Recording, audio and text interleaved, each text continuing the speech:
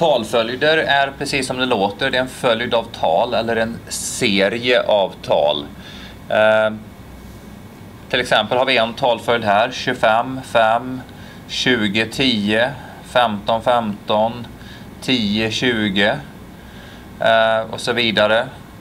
Eh, här räkneregeln för den här talföljden är naturligtvis här vid 25, 20, 15, 10 och sen så har vi 5, 10, 15, 20. Ni ser det finns en systematik i just den här talföljden. Eh, om vi tittar på den här, jag har tagit en talföljd till. 2, 3, 5, 7, 11, 13, 17, 19.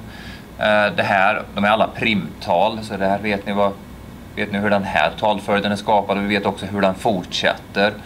Ehm, just de här talföljderna, de ser vi här, punkt, punkt, punkt, betyder att de fortsätter. Ehm, behöver de inte göra. Vi kan mycket väl ta en talföljd, göra sådär och så säga att vi har den, en talföljd som är avslutad. Vi kan också ha en talföljd som inte följer någon logik överhuvudtaget. Så att eh, talföljder är helt enkelt bara en serie av tal, en följd av tal. Eh, och eh, ofta så Ofta vill vi att talföljder, för att de ska vara, ha någon betydelse, vi, vi ser ju gärna att talföljder följer någon form av regel. Eh, behöver inte göra det, men eh, det är oftast de som vi, talföljderna som vi vill studera.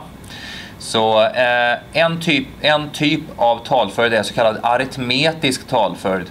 Eh, aritmetisk talföljd har vi då differensen mellan två på varandra följande element är konstant. Eh, och eh, eh, vi kan då ha en formel för att skriva eh, en aritmetisk talföljd. Eh, så att då kan vi alltså teckna de olika elementen i eh, aritmetisk talföljd med den här formeln. Att eh, det nte elementet, som vi då kallar för AN, det är alltså A1 plus D gånger N minus 1. A1 är här vårt första element i serien. Och D är differensen mellan två närliggande element. Eh, så exempel på en aritmetisk talföljd är 1, 2, 3, 4, 5. Och eh, det här är en talföljd med fem element. Eh, A1 är 1. A5 är 5. Differensen är D är 1. Differensen D är 1 i den här talföljden. Um, här har vi en annan aritmetisk talföljd. Uh,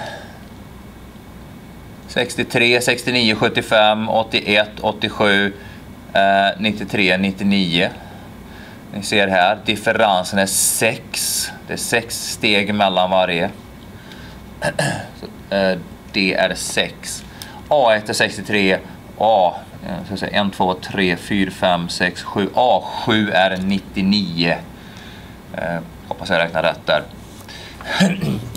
eh, så där har vi exempel på ett par aritmetiska talföljder. Och eh, aritmetiska talföljder de är, är sådana att vi ganska lätt kan räkna ut summan av en eh, aritmetisk talföljd. Eh, och eh, en ändlig aritmetisk talföljd får vi lägga till här då. Då har vi en, en formel för det. Formeln säger att summan utav de eh, n-termerna i talföljden är eh, n genom 2, alltså antalet termer genom 2 gånger a1 plus an. Där a1 är första termen, an är nte termen, alltså sista termen. Och ska se ett exempel på det här nu. Eh, har en talföljd. Den ser ut så här att eh, första termen är 25, nästa är 30, sen 35, ja, 40, 45, 50, 55 och så vidare ända upp till 505. Så vi ska beräkna summan av den här. Eh, och eh, det första vi måste göra är att vi måste beräkna n. Hur många termer är det i den här? Och eh, vi har ju en formel för eh, för våra termer här, hur man räknar ut termerna. Eh, vi, I den här formeln, det är så här vi räknar ut den nte termen i vår serie, i vår talföljd.